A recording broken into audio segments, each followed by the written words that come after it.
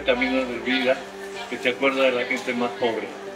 Eso lo va a reducir desde arriba y generalmente va a recaer sobre todo para que sigan teniendo fuerza y sigan ayudando a la gente que tanto lo